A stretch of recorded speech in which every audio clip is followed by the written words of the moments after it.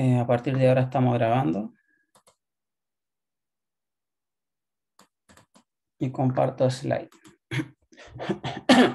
bueno, eh, la clase pasada estuvimos eh, trabajando sobre lista enlazada.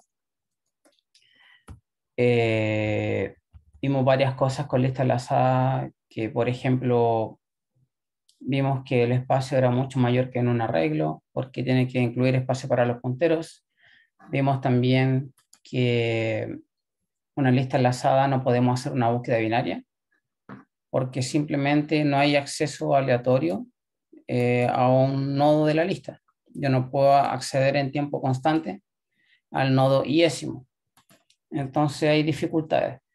Eh, la memoria dinámica, por supuesto, se pide solamente en tiempo de ejecución, la, la memoria para cada nodo, y son las principales diferencias con, con los arreglos. ¿okay?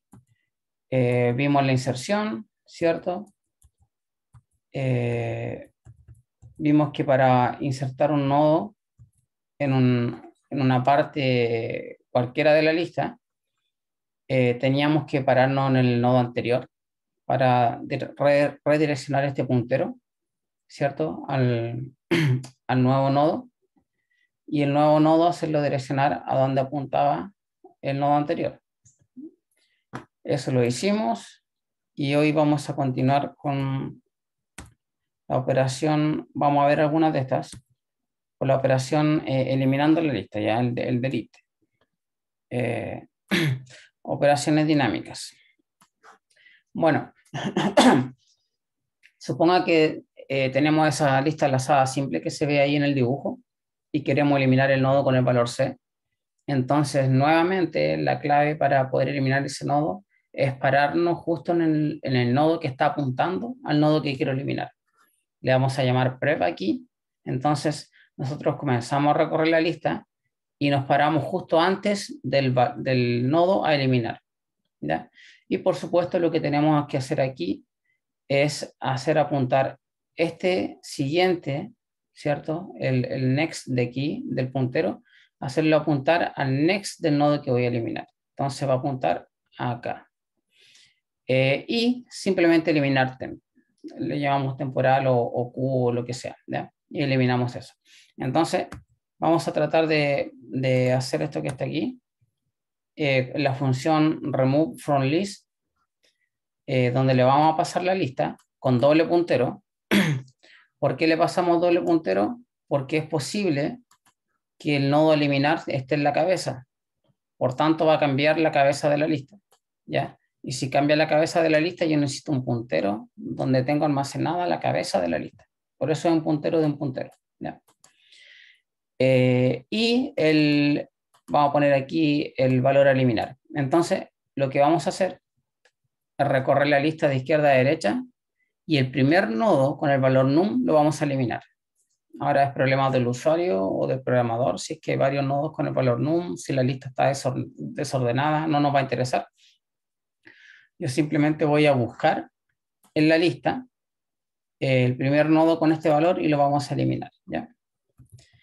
Eh, teníamos estos, este código eh, que estábamos viendo aquí.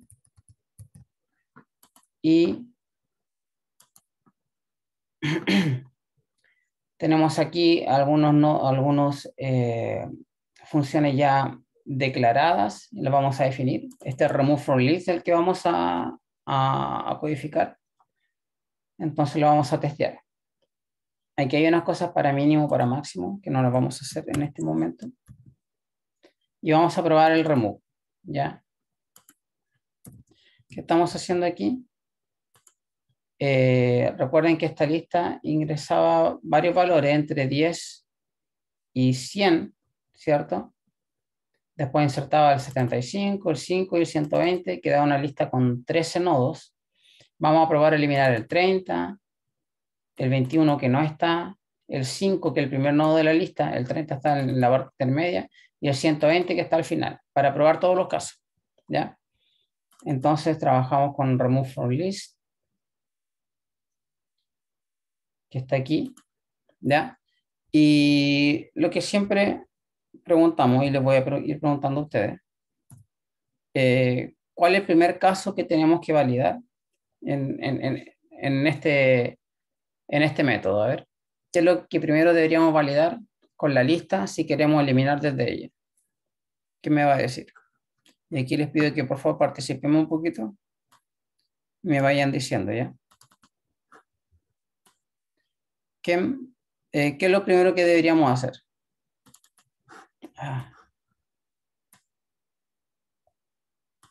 Verificar que tenga elementos.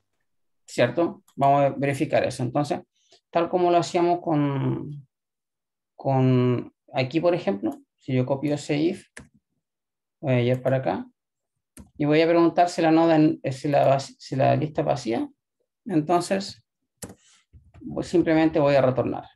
¿ya? O podría enviarle un mensaje al usuario si quisiera, pero eh, simplemente voy a retornar false porque ese retorno false significa que la eliminación no tuvo éxito. ¿ya? Entonces, si estaba vacía, retorno false. Ya. Es el primer caso. Vamos a ponerle aquí. Eh, caso 1. Lista vacía. ¿Ya? Vamos a irnos ahora al caso 2, que es cuando el nodo a eliminar está en la cabeza de la lista. Nodo a eliminar es, es la cabeza de la lista. Está, está al comienzo. Es decir, yo quiero eliminar este nodo que está aquí, el primero. ¿Ya? Entonces, para eliminar el primer nodo, eh, obviamente la cabeza de la lista va a cambiar. Yo voy a tener que hacer apuntar la lista al siguiente valor, ¿cierto? Y eliminar el primero. Necesito un temporal para eliminar este y avanzar la cabeza de la lista, ¿ya? Entonces vamos a ocupar, eh, por ejemplo, nodo asterisco P, ¿cierto? Es igual a asterisco L, que es nuestra lista, ¿cierto? Eh, y vamos a preguntar si P-val, ¿qué parece? Val. Es igual al número que yo quiero eliminar. ¿Ya? Al valor que quiero eliminar. Si estamos ahí, entonces hay que hacer algo. Eh, simplemente podemos hacer lo siguiente. Arterisco L es igual a P-next, por ejemplo.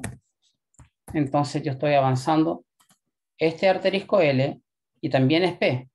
Por tanto, arterisco L ahora va a ser igual a P-next, al siguiente. ¿Ya? Y por supuesto tengo que poner el delete P. Aquí hay algo importante que, que, vamos a, decir. Eh, cada vez que yo hago un delete, o sea, si yo si quiero que no tener problemas con la memoria, y yo voy a eliminar efectivamente de la memoria para que sea efectiva la eliminación y la memoria se libere los bytes que yo pedí antes, por cada new que hice tiene que haber un delete, como en este caso. ¿Ya?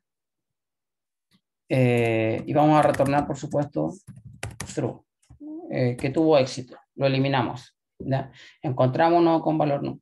Por tanto, este, este P, este nodo P, que el del comienzo, en, en, algún momento tuvimos que haber hecho un new, porque es memoria dinámica.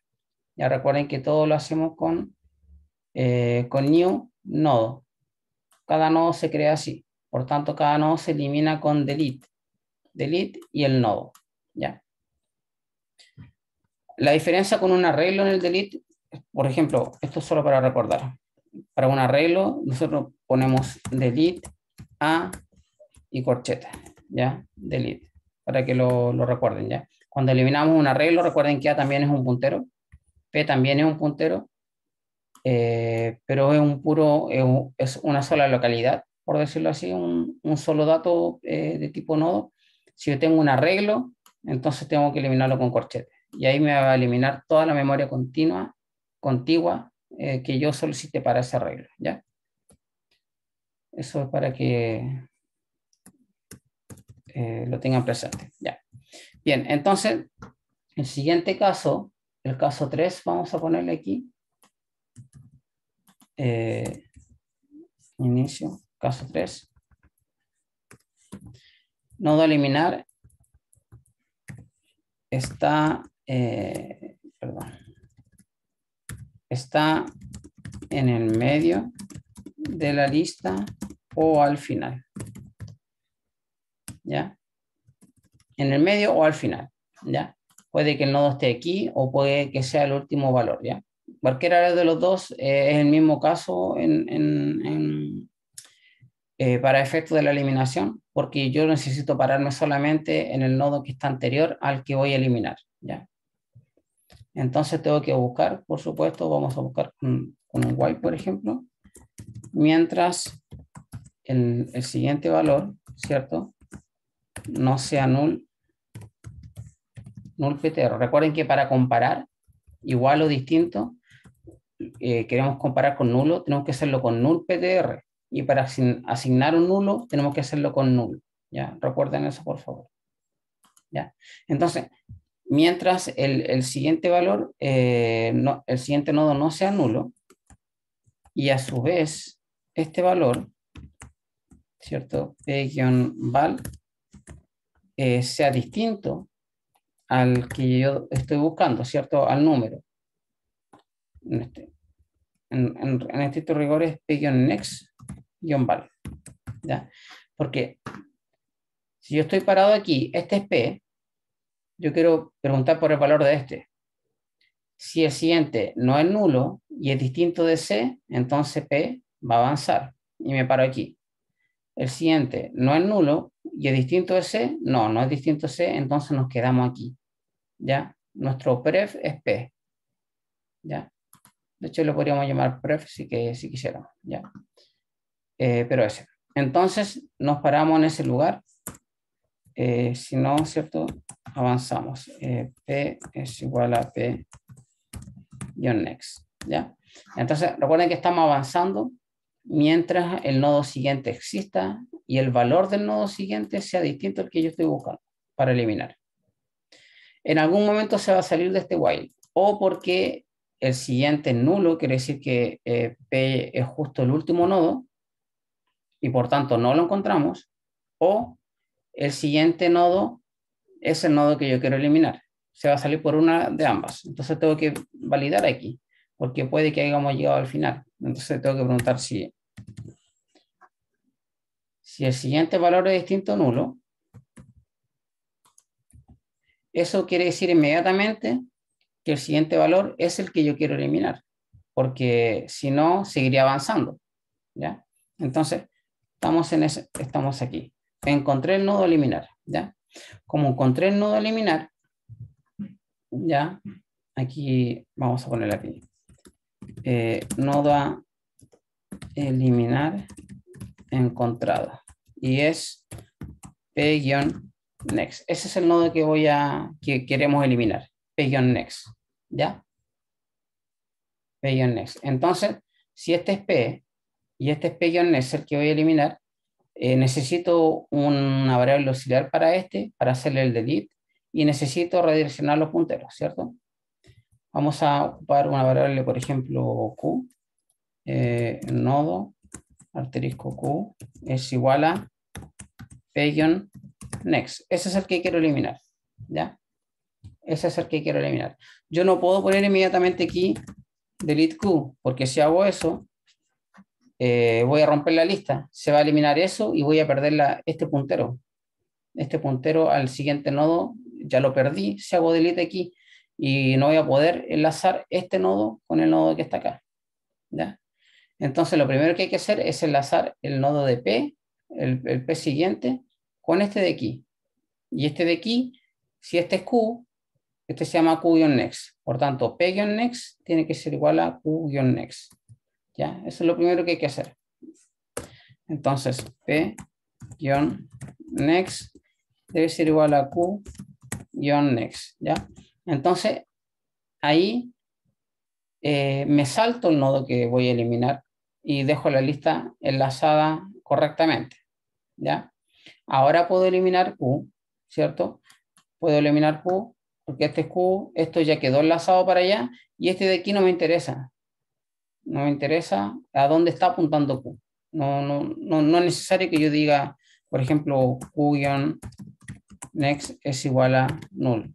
No, no es necesario, eso no es necesario. ¿Por qué? Porque lo voy a eliminar. Entonces eso se va a perder igual.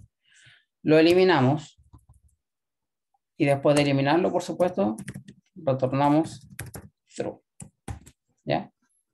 Porque recuerda que este retorna true cuando lo encuentra y lo elimina. y retorna false en caso contrario. ¿Ya? Eh, por tanto, si no entra en este if, quiere decir que no lo encontró y va a retornar false. ¿Ya? Y esa sería la eliminación. ¿Ya? muy parecida a la inserción, ¿cierto? Tiene como los mismos casos prácticamente. Eh, eso. Y eh, ahora. Entonces, abrimos la terminal.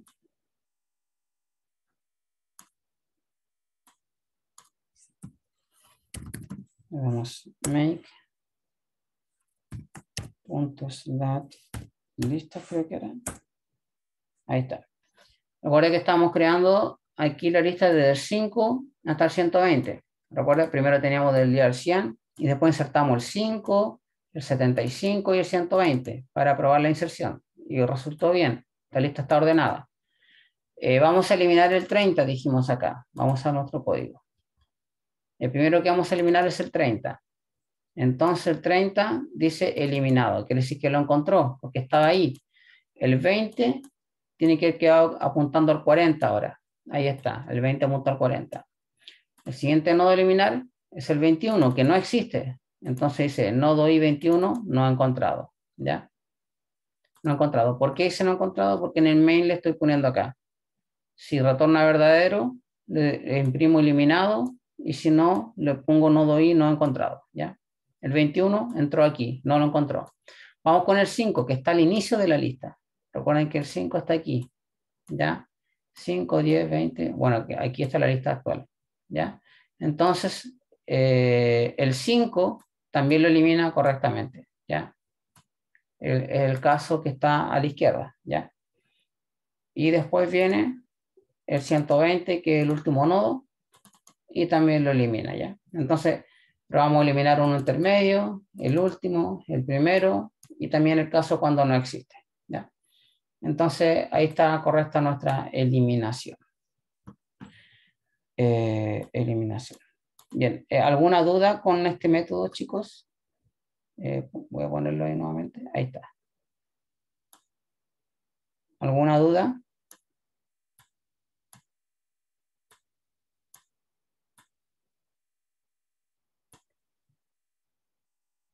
¿No? No. Bien. Está claro entonces. Ok. Eh, aquí, eh, antes, acá hay ejercicios eh, de la clase anterior. uno muy sencillo, que están acá, que por favor traten de hacerlo en este momento tres funciones, eh, media list, min list y max list. Obviamente eh, se entiende inmediatamente que la media del promedio, este es el menor y este es el mayor, max, ¿ya? Por tanto, este, este, devuelve un entero, este también devuelve un entero y este devuelve un flotante. Entonces la idea es recorrer la lista L y entregar la media, el mínimo y el máximo. ¿Ya? Eh, de hecho, se podrían hacer los tres en un mismo método, pero hagámoslos por separado. ¿Ya? Eh, hágalo por separado. Entonces, ahí están. Control F. Eh, bueno, aquí lo estamos llamando también. Entonces la idea es, es este, este playlist no, me para. ¿Ya? Ah, y aquí podrían poner, eh, claro, aquí están todos en en un mismo, en un mismo método. Pero háganlo así por separado. Ahí están los tres métodos. Min, max y media. ¿ya? Entonces, eh, yo le paso L. Noten que aquí yo necesito pasar el, el, el, puntero a la cabeza, solamente necesito entregar la cabeza de la lista, porque recuerden que ahora acá nosotros pasamos el puntero a la cabeza solo cuando la operación podía cambiar la cabeza de la lista. En este caso no, pues estamos consultando, estamos leyendo solamente la lista, la estamos recorriendo. Por tanto, esto es muy, muy sencillo porque es como, es simplemente es como un while de recorrer la lista y encontrar el valor, ¿ya? Así que aquí están los tres métodos, ¿ya? Eh, bastante sencillo. También tiene que retornar un valor, ¿ya? Retorno.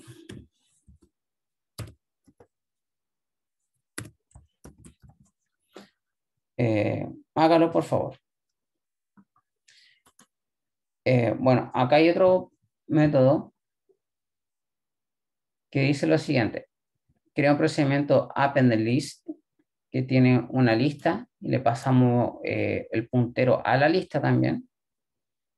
Y tenemos otra lista Q que le damos solamente la, la cabeza de la lista que va a añadir en la lista Q al final de la lista L, ¿ya? O sea, Q le tiene que añadir al, al final. Una pregunta para este método de aquí. Eh, ¿Cómo lo harían ustedes? Eh, ¿Qué algoritmo, eh, qué, qué, metodología haríamos para esto? ¿Qué me puede decir? Algo inteligente para esto, que sea eficiente. Yo quiero añadir una lista al final de la otra. ¿Qué podría ser? Que sea súper eficiente. ¿A alguien se le ocurre?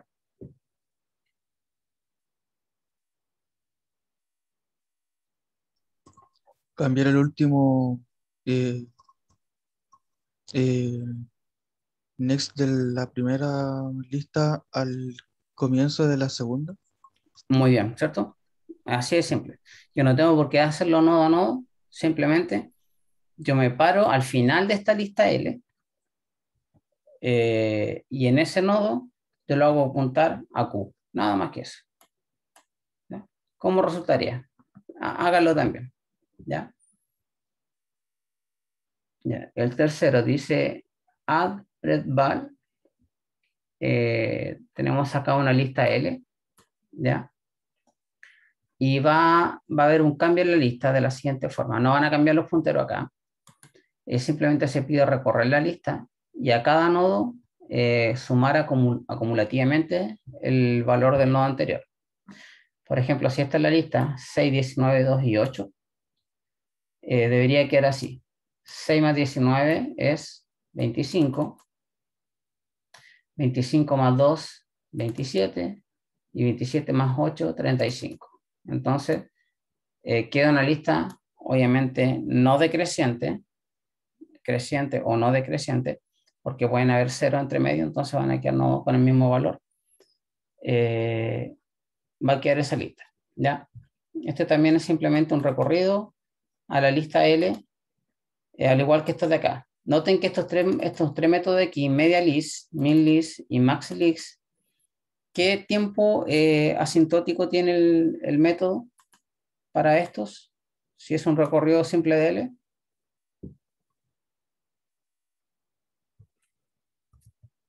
Lineal. ¿Perdón? Lineal. Sí, cierto. Costo lineal vamos a poner así, orden n, ¿ya? Costo lineal, que es orden n. Este de aquí también, ¿cierto? Este de aquí también. Y en realidad, hasta ahora todos estos métodos son de costo lineal. porque este de aquí también? Eh, ¿Por qué? Porque puede que eh, Q sea de largo de millones de millones de nodos, perdón, L, y tenemos que recorrer millones y millones de nodos hasta llegar al final, y Q tenga un puro nodo, por ejemplo, ¿ya? o Q esté nula, esté vacía. Por tanto, el costo lineal en el peor caso, porque se analiza el peor caso. ¿ya? Costo lineal. Acá están los tres métodos juntos, también costo lineal, ¿cierto? El print list también es costo lineal. ¿Ya? Bueno, en realidad todo lo que hemos hecho es costo lineal, porque hay que recorrer la lista una sola vez, con eso basta. Ya, entonces, y miren el cuarto. Dice insert list. Tenemos nuevamente un puntero a la lista eso quiere decir que la cabeza puede cambiar, y otra lista Q, ya que le entregamos solamente la lista, donde arterisco L y Q están ordenadas ascendentemente. ¿ya? Eh, cuando usted invocan este método, tanto L como Q deben estar ordenados ascendentemente. ¿ya? Eh, para eso simplemente ustedes crean métodos, eh, insertan nodo a L, insertan nodo a Q y después llaman al método anterior. Y este método anterior les va a transformar la lista de forma ascendente. Va a ser una lista distinta, que va a ser acumulativa, por supuesto, pero ahí ya se aseguran que tienen dos listas ascendentes. ¿Y qué es lo que tienen que hacer? Insertar a L todos los nodos de la lista Q en sus posiciones correctas. ¿Ya? Porque van a quedar dos listas crecientes. ¿Ya? Por ejemplo, si yo tengo esta lista que está aquí, ¿ya? Por ejemplo, si L es igual a eso, ¿ya? Y tengo que Q es igual a otro valor, por ejemplo, el, el 16, perdón, el, el 18 y, y, el 29, por ejemplo. ¿ya? Entonces, si yo quiero insertar todos estos valores de aquí, acá, tengo que ir recorriendo L de izquierda a derecha, ¿cierto? Y yo digo, este es el valor que voy a insertar. Ah, va entre 6 y 25, y inserto ahí el 16. El 16 va a quedar acá.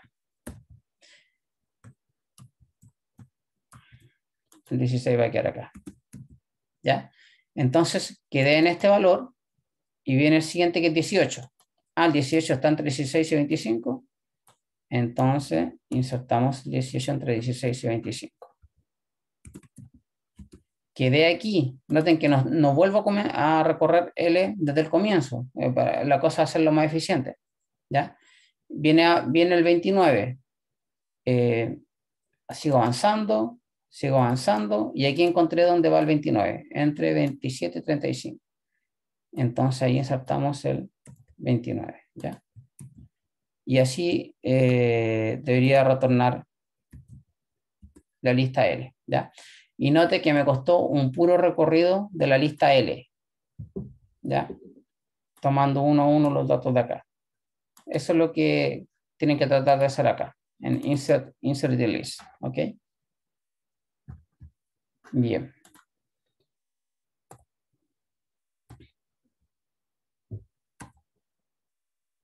Ahora miren, eh, hay otro tipo de lista. Está la lista doblemente enlazada, ¿ya? Eh, y la idea es la misma que en el caso simple, salvo que ahora eh, se poseen dos punteros, ¿cierto? Está el puntero prev del previo y next del siguiente. ¿Ya? Entonces, eh, noten que aquí ahora las operaciones son un poquito más complejas porque tenemos un puntero adicional. Si yo quiero eliminar este nodo, por ejemplo, o sea, insertar un nodo al medio, yo tengo que hacer lo que hacíamos antes con el next, ¿cierto? Eso no va a cambiar. El next apunta para acá y el next de aquí apunta para allá. Pero tengo que hacer algo con el pref también. El pref para acá y el pref para allá, ¿ya? Esto ya requiere un poquito más de, eh, un poquito más de trabajo, y, la idea es que también sea un súper buen ejercicio para ustedes esto que está aquí. Porque si ustedes pueden hacer esto, me estarían demostrando a mí que pueden, eh, que entendieron el concepto de lista y que saben trabajar ya con puntero en las listas por lo menos. ¿ya?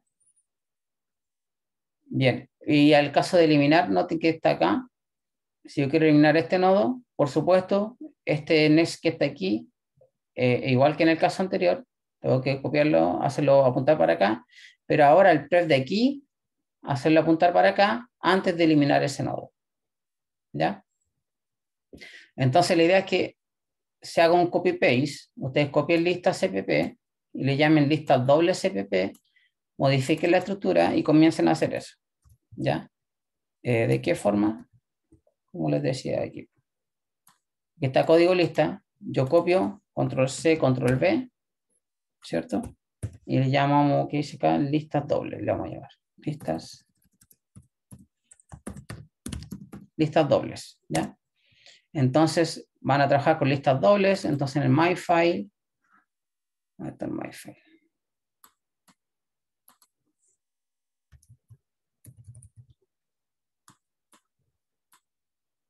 Ya, en el myfile van a poner eh, otra entrada que se va a llamar eh, listas dobles.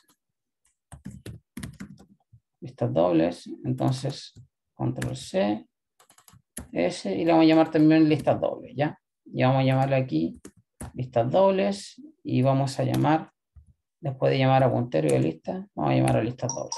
Y eso todo, ¿ya? Entonces, ahí está nuestra entrada para que compile listas dobles. Ya, ahora si yo le hago un make a esto que está aquí,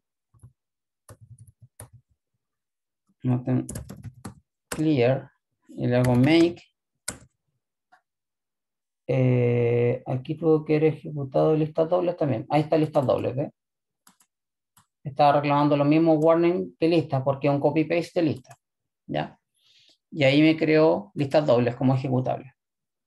Entonces la idea es que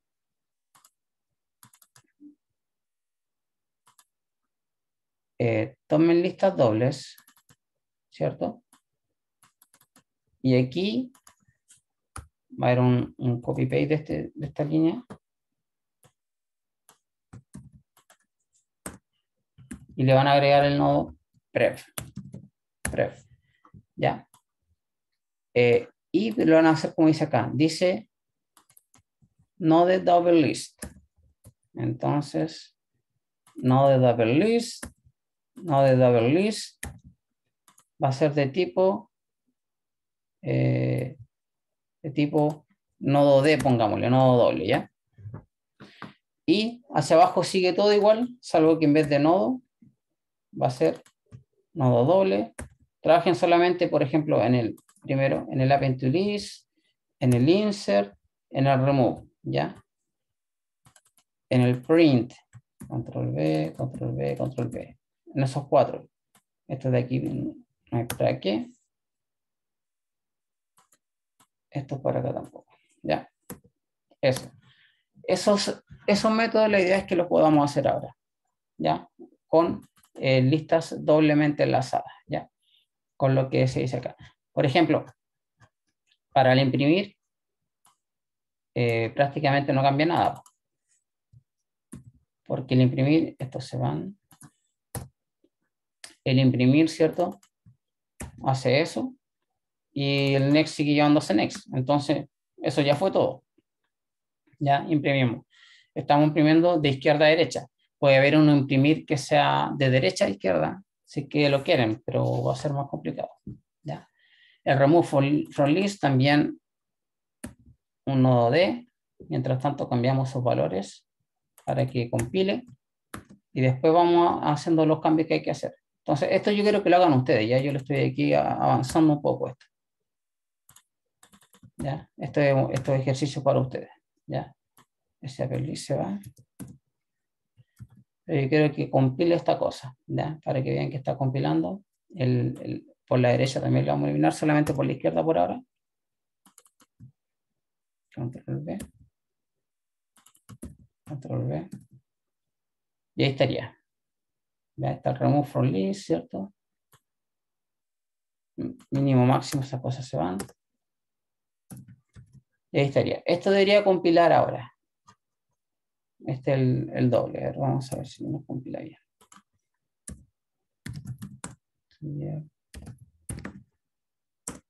Make. Make. De aquí hay unos problemitas y los vamos a ver artículos. Aquí dice, ah, new nodo, todo, nodo D, new nodo, tiene que ser new nodo, nodo D, pues la, la 78, eh, la 81, eh, 78. Aquí, control C, en new nodo D. Acá también, pues, new nodo D. ¿Ya? Make Vamos al primer error siempre. Déjenme borrar.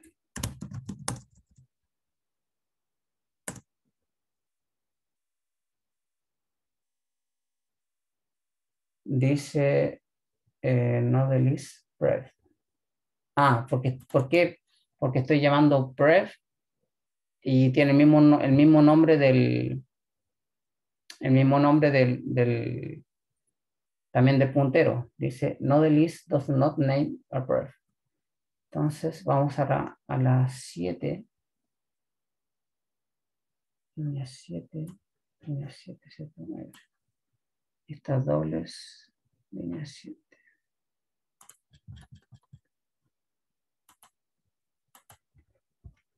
Ahí está. Este está mal definido. Tiene que ser. Ahí sí. Está mal definida la estructura.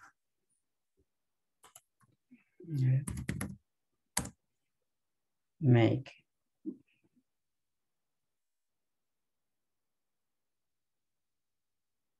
Dice lo siguiente. Nodo L, null. Tenemos la lista vacía en la 22. Ah, acá. Ahora el main, este es nodo D nodo D. Y así tienen que ir yéndose todos los errores, ¿ya? Sigue habiendo error. El Apentulis R. Ah, estoy llamando Apentulis R en alguna parte. Y no lo estoy usando. Aquí. Vamos a hacer el de la izquierda solamente, dijimos. Ahí está el de la izquierda solamente. ¿Qué otro error? En la 101 debería ser ahora.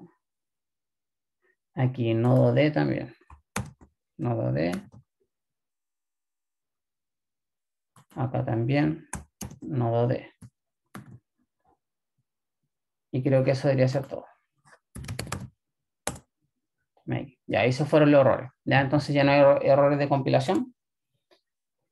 Yo voy a subir esto que está aquí este, este mismo eh, CPP, pero la idea es que ustedes lo completen ahora con estos, estos métodos que están acá, ¿ya? Y si quieren que se lo revise, me lo envían al, correo, ¿ya? Y si hacen bien esto que está aquí, lo hacen ustedes, de seguro que van a andar súper bien con lo que es listas enlazadas, ¿ya?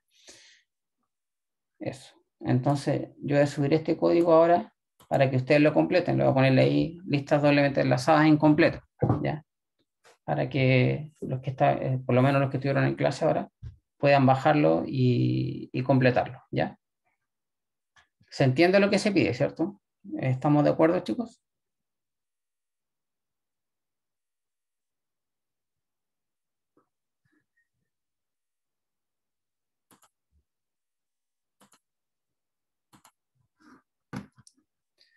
Ok, bien.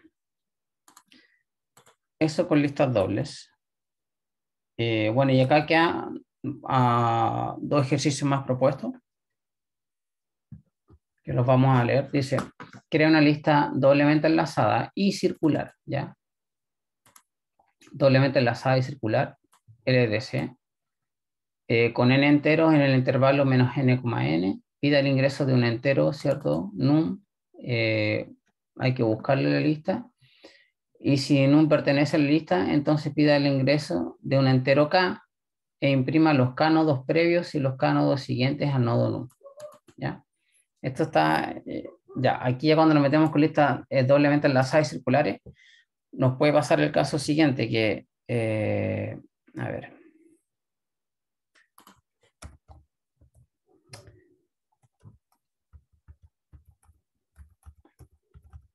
¿Dónde está?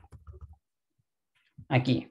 Por ejemplo, si yo me paro aquí y me piden imprimir los, eh, y cae 2, primero el número es 20, llegué al nodo que tiene el 20, que está aquí, y cae 2, significa que debo imprimir dos nodos hacia la derecha y dos nodos hacia la izquierda.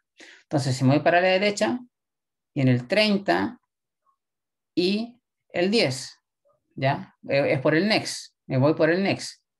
El next de 20 es 30 y el next de 30 es 10. Va a imprimir 30 y 10. Y luego cuando imprima eh, con el perf, dos nodos, tiene que imprimir el 10 y el 30 porque es circular, ¿ya? Entonces esto ya ejercicio, ahí ya ustedes van soltando mucho más la mano, eh, porque ahora no solamente tienen que eh, preocuparse del next y el pref, sino que el next del último nodo apunte a la cabeza y el pref de la cabeza apunte eh, al, al, último nodo, ¿ya? Entonces, es el cuidado que hay que tener en ese ejercicio, ¿ya? Y el último ejercicio dice lo siguiente, hay una permutación de n, eh, eh, que lo que es una permutación de n, es, por si no lo saben, es una secuencia de n enteros que no se repiten. Por ejemplo, ah, bueno, aquí está la definición, x1, x sub n, tal que x sub y pertenece a n. Por ejemplo, una permutación de 10 es el siguiente. Acá están todos los números desde el 1 al 10, en cualquier orden. Esa es una permutación. Acá hay otra. Acá hay otra. ¿ya? Pueden haber eh, muchas permutaciones, por supuesto. Ya, eh, alrededor de n factorial permutaciones. Entonces, eh, ¿qué es lo que se pide? Se va a leer n desde el argumento del, del programa y crea una lista enlazada simple que almacene una permutación aleatoria de n. Entonces, la pregunta es, si me ingresan el 10 o el 100, ¿cómo yo creo una permutación aleatoria? Totalmente aleatoria. ¿Ya? Ahí se les tiene que ocurrir a ustedes. Esto ya, aquí ya es algorítmico también. No es solamente saber de lista enlazada, sino que eh, viene la complejidad algorítmica, ¿ya? Y aquí son dos cosas. Una, la estructura de datos y la otra, el algoritmo. ¿ya? Entonces tienen que, una vez, estas clases son para que usted aprendan a, manejar la estructura de datos, ¿cierto? Pero después usted tiene que ir desarrollando su, eh, su creatividad, por supuesto, para ir, teniendo un pensamiento más algorítmico y poder resolver este tipo de problemas. ¿ya? Así que vayan pensando, ¿cómo pueden crear una permutación aleatoria? ¿ya? Luego creo un método que imprima todas las subsecuencias crecientes y decrecientes que posee. Por ejemplo, supongamos que esta es la permutación, ¿ya? ¿Cuáles son las subsecuencias crecientes? Si parto de izquierda a derecha, 3, 8, porque después viene el 2. ¿ya? Aquí hay una, 3, 8. 2, 6, 9 es creciente, 2, 6, 9, ahí está. 1, 5, 10. 1, 5, 10. 2, 7, y después el 4 solo. Y la decreciente, eh, mira hacia abajo. El 3 va a estar solo, ¿cierto? Porque el siguiente es mayor. 8, 2, hay una decreciente. El 6 va a estar solo. 9, 1. El 5 va a estar solo. 10, 2 y 7, 4. 10, 2 y 7, 4. ¿ya? Entonces, este es el ejercicio. ¿ya? Entonces, ya este ejercicio es más tipo ya de de evaluación porque tiene que mezclar dos cosas. Tiene que mezclar el conocimiento de la estructura de datos, que es lo que mínimo que se espera, y por supuesto eh, algún problema algorítmico que ustedes con la estructura de datos puedan resolver. Bien.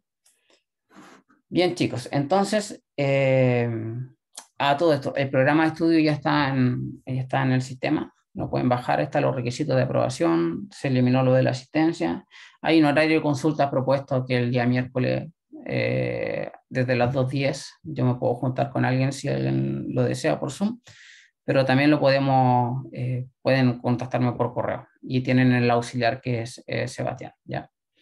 Así que eso, traten de hacer el ejercicio, si tienen dudas me escriben o le escriben a Sebastián y vamos avanzando con eso para que estén súper bien preparados, porque ahora, la semana que viene, en las dos clases que va a ser martes y jueves, vamos a ver eh, pilas y colas. Y eso va a ser lo último que entra en el control 1. Ya pilas y colas para el control 1. Hasta ahí. Eh, y la semana siguiente, el día jueves 7 de octubre, va a ser la formativa 2. ¿Ya? Ahí les voy a dar, eh, la semana que viene les voy a dar el temario para eso, si va a ser lista o va a ser pila y cola, yo creo que va a ser lista. Eh, la semana siguiente, la del 11, es la semana COVID. Van a tener una semana sin, sin clases por lo menos. Y a la semana siguiente ya comienza la tarea y, viene el control 1. ¿ya? Así que el control 1 el día 28, por si acaso. Y ahí la tarea la vamos a dar el, el martes 19. ¿ya? ya la tenemos ya casi ideada, ideada. Así que eso. Bien chicos. ¿Alguna duda con lo que hemos visto hoy día? ¿Alguna duda con los ejercicios, con lo que hay que hacer? Por favor. Dígame nomás. Si no hay duda, dejamos la clase hasta acá.